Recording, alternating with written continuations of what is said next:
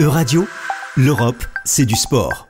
Eva Jacomet. Dans la lignée de la chronique de la semaine dernière sur euh, la thématique sport et femmes, nous retrouvons cette semaine Eva Jacomet de Sport et Citoyenneté. Eva, vous nous parlez d'un sujet encore peu exploré, la féminisation des formations et métiers de l'encadrement sportif. L'encadrement sportif, c'est tout ce qui touche au métier du sport, c'est ça? En effet, l'encadrement sportif, ce sont tous les postes d'éducateurs et d'éducatrices sportives, les entraîneurs et les encadrants.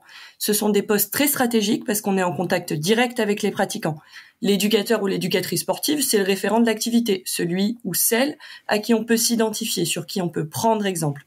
Donc le fait qu'il y ait peu de femmes, c'est problématique, parce que ça pose un souci de visibilité et de représentation. Et pourtant, on sait à quel point le, poids des rôles modèles, il est déterminant. C'est l'idée que ce qui n'est pas vu n'existe pas. S'il y a peu de femmes qui font ces métiers, c'est difficile pour une jeune fille d'imaginer qu'elle pourrait en faire son métier plus tard.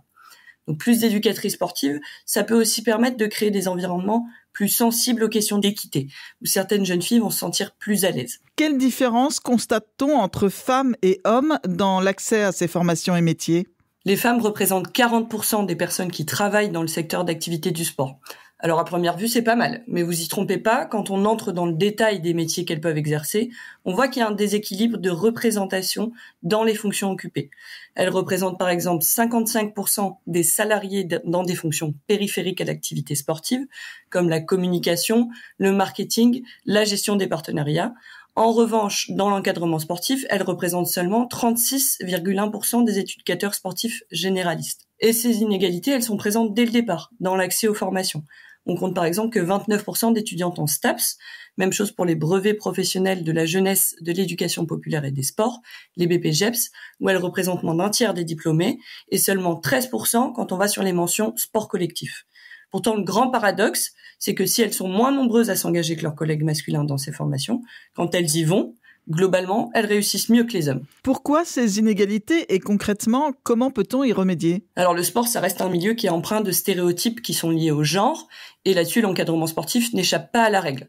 D'autant plus que ce sont des métiers qui ont des contraintes fortes, c'est souvent des emplois à temps partiel, des horaires pas toujours évidents à concilier avec les contraintes familiales, dont on sait qu'elles pèsent encore pour beaucoup sur les femmes. Pour lever ces freins, il est important d'accompagner ces femmes et de créer un environnement plus accueillant pour les publics féminins des initiatives exemples. Par exemple, euh, chez Sport euh, euh, et Citoyenneté, on est partenaire du projet des métiers pluriels aux côtés de la Fédération nationale profession sport loisirs, de la Fédération française de cyclisme et Femix Sport.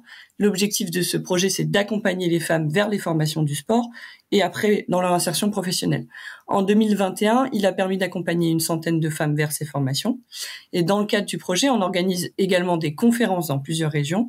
L'objectif de ces conférences, ça va être de faire dialoguer les acteurs du monde sportif, de l'insertion professionnelle et les collectivités territoriales sur cet enjeu et permettre de tisser euh, de nouvelles synergies entre ces acteurs. Donc finalement, la féminisation de l'encadrement sportif, ça représente un défi à venir pour le mouvement sportif.